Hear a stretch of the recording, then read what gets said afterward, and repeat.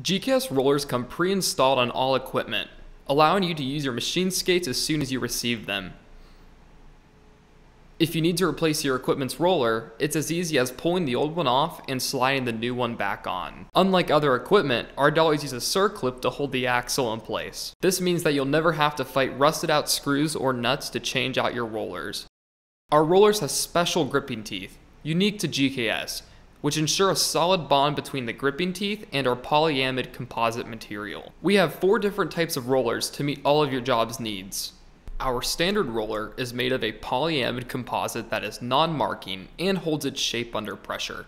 The white premium roller, made of a stronger polyamide composite, is used on higher capacity equipment.